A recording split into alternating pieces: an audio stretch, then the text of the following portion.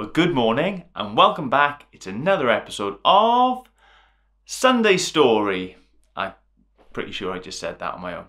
Anyway, we are back with another installment, another story from the Jesus Storybook Bible as we work our way through the unchanging story of God's love for humanity and what He is doing to rescue us.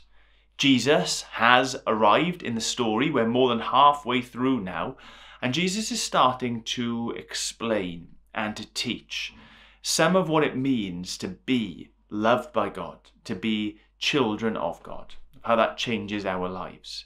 And this week, we're looking at a story in which Jesus teaches us all how to pray. Enjoy.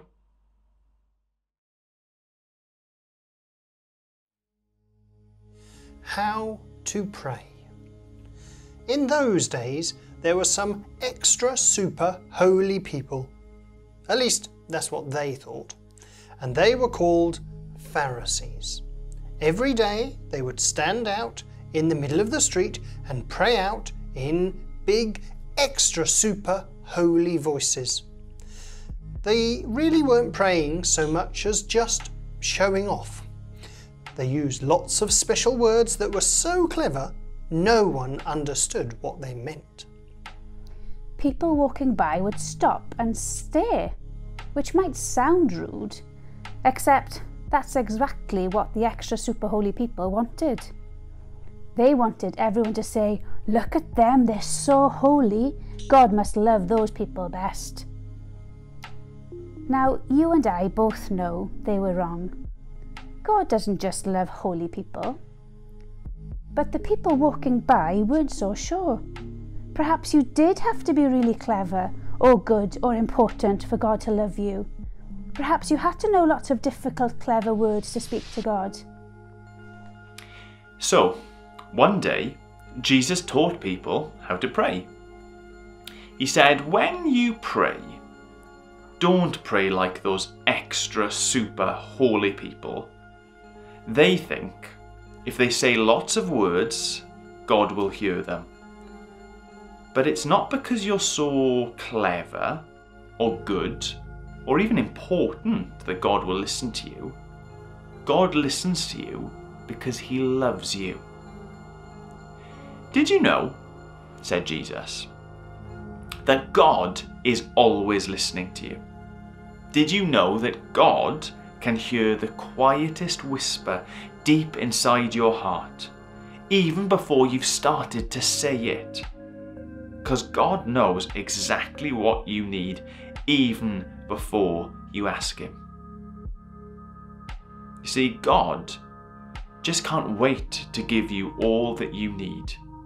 So you don't need to use long words or special words. You don't have to use a special voice. You just have to talk. So when you pray, pray in your normal voice, just like when you're talking to someone you love very much.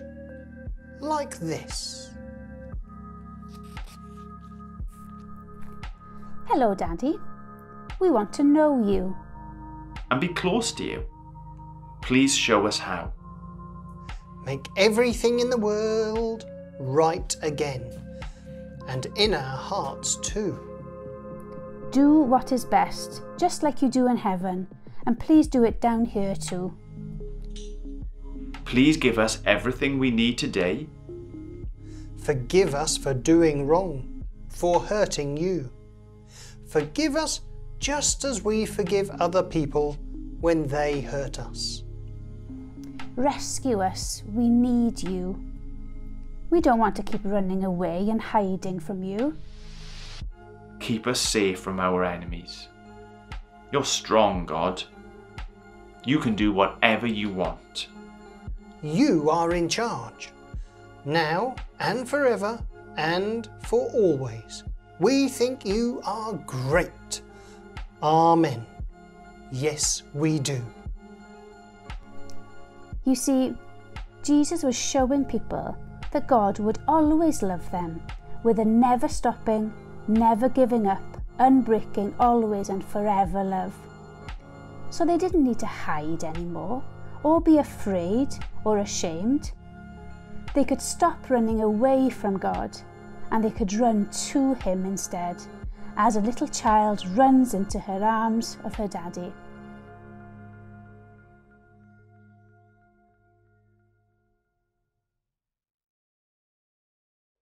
Well, that is it. Another story done and dusted.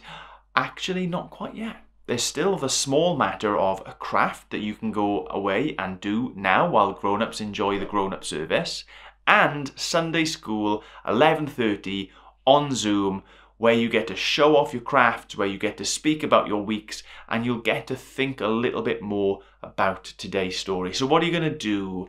How are you going to do a craft based around praying? Well, that's up to you. My suggestion, if you can't think of something off the top of the head, is to go onto Google and type in prayer crafts. Could be anything. I'm very excited to see what you come up with. Anyway, that's enough for me. All I've got to say now is bye bye.